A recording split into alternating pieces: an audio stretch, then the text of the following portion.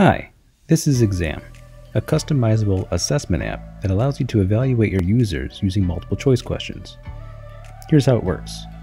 After signing in, you'll select a subject and see a list of the available tests. Some tests will be casual, others formal. Here's the difference. Casual tests are not timed, and feedback will be instantly provided after each question.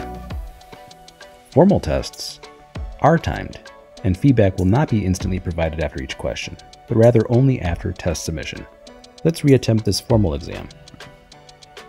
Here the user can easily see the time remaining and their progress. Answering questions will let them submit it and move on to the next question. If they back out of an exam, they can quickly resume.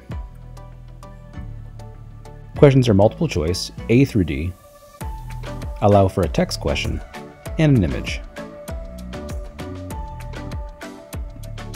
Let's finish up this exam.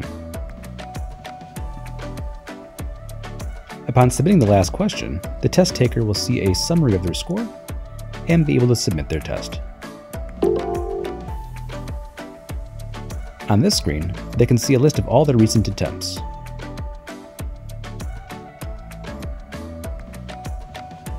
In this subject, this test taker didn't do a very good job. They can dive into the test, see which questions they missed, and see feedback so that way they can get it right the next time. If a test taker really enjoys this test, they can share it with their friends via QR code, copying the URL to the clipboard, or sharing it via some other third-party app. Lastly, this user can view their profile. They can see an average of all their performance, their performance by subject that's color coordinated based on their scores, and see a list of their latest test attempts. Let's switch to an admin view. For an admin, the app looks very similar, except they have the ability to edit subjects, tests, and questions. In the menu, they have access to the test generator. Here, they can add new subjects.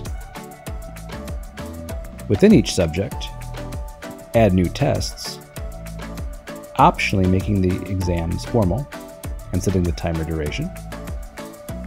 And within each test, being able to preview all of the questions at once. Editing any of the features, as well as adding additional questions. They can also see a list of all students, their average score, and again their performance by subject, and their latest test attempts. We hope you enjoy using Exam.